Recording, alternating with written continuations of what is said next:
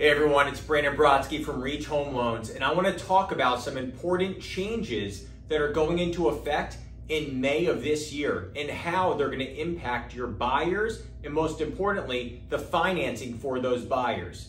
So it was announced that Fannie Mae and Freddie Mac are implementing changes to the price of their interest rates as of May 1st of this year. With most lenders, this is going to apply to any interest rate locks after April 1st of this year. So what's going to happen is they're actually going to increase their LLPAs, their loan level price adjustments. These are the adjustments that are behind the scenes with all lenders that determine the cost of an interest rate and therefore the interest rate itself. These are adjustments for things such as the credit score, the down payment, the property type, occupancy type. There's always loan level price adjusters. It's just that these are actually going to be changing and new ones will be implemented for buyers. Now, some of the most important that I'm going to show you deal with credit score.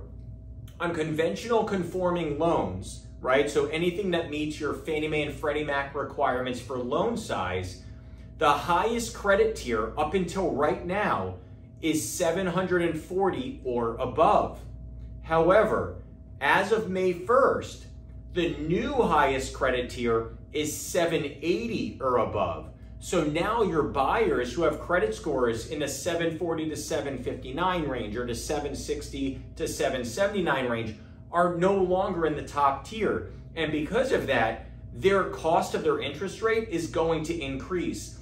As a matter of fact, the group of individuals who are affected most by this change to the credit score LLPAs or loan level price adjusters are going to be individuals in the 680 to 759 credit score range who are putting down anywhere from 5 to 20%.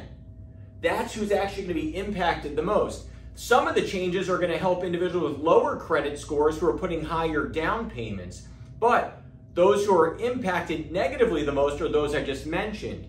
Now, another important loan level price adjuster that's going into effect, or actually just went into effect this week, we're in the second week of February 2023, is an adjustment for having a DTI, debt income ratio, over 40% and a loan to value over 60%. So the combination of those two things is now going to have a loan level price adjuster equal to 0.375% of the loan amount.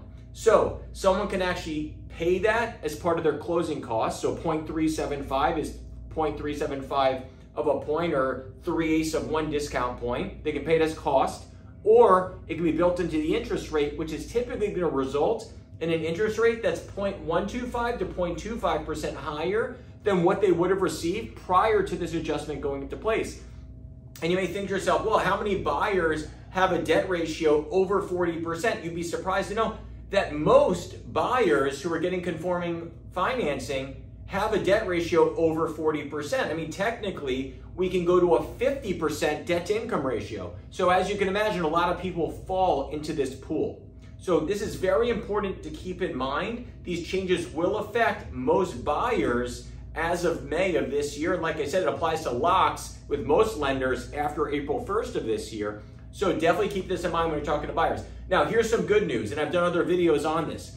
If someone is a first-time home buyer and their income is within 100% of the area median income where they're purchasing, they actually have no loan level price adjusters on their conforming conventional mortgages, which means that None of this applies to your first time home buyers who fall within that pool.